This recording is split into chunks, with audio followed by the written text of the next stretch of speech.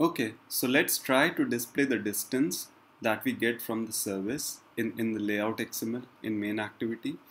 So this is our app and the intention is that when the app starts, the bound service gets called, which is the distance travel service.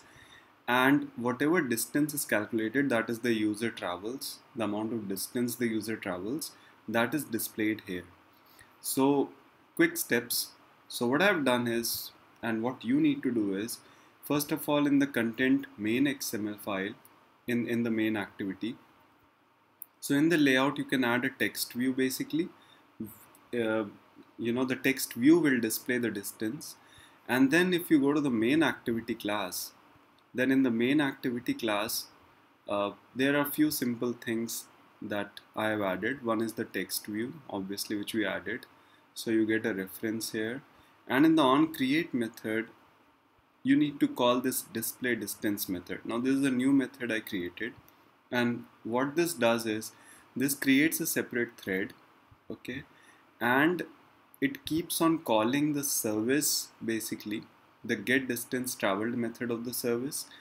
And it keeps on calculating the distance whatever the distance the user is traveling. And once it is done then the text view displays this as a text okay? And and we introduce a delay of like one second basically which is like 1000 milliseconds.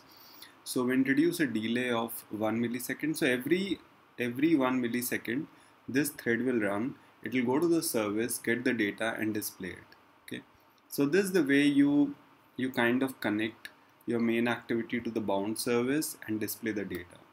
So take a look at the code. It's checked into github and uh, you know try to implement this on your own. And uh, this is how your bound service and started service works. So i hope this this gives you a good introduction to these two services and you're able to use it in your apps. Okay? Thanks. Bye